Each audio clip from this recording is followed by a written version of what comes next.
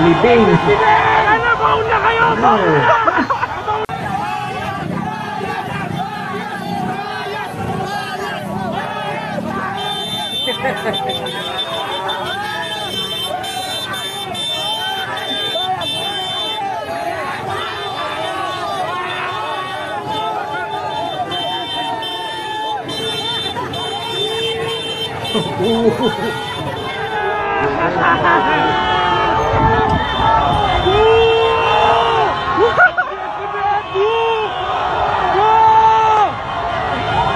Ano?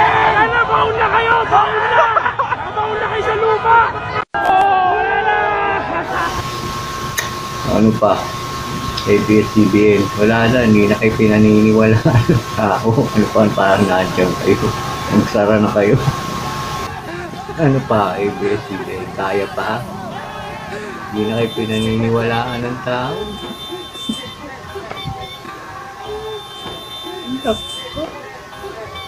Puro pa kasi kayo ano, kasi nungalingan din.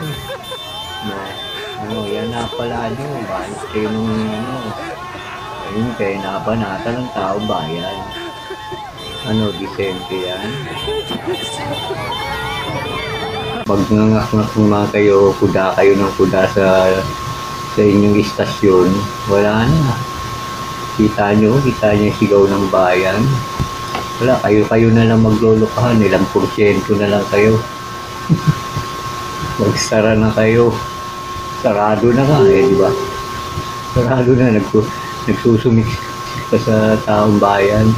Balita pa ng balita, hindi naman na pinaniniwalaan. Oo, ako may nanonood pa eh. Mas marami pa yung dislike.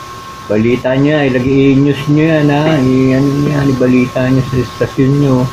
Dapat patas sa pagbabalita. Maalam niyo paano kayo pinahiyad, binaon ng tao. Diba?